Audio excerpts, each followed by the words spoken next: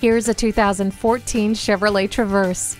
Its appeal starts with a class leading cargo room and continues with modern technologies and top of the line safety. You'll love the impression of its athletic hood design and striking good looks. It includes keyless entry, an emergency communication system, steering wheel audio controls, multiple airbags, and stability and traction control. No one will complain about the temperature with the dual zone air conditioning.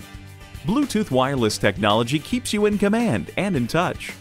The multifunction steering wheel helps keep your eyes on the road and your hands on the wheel. Pioneering a new transportation tradition, blaze a new trail in this Traverse today.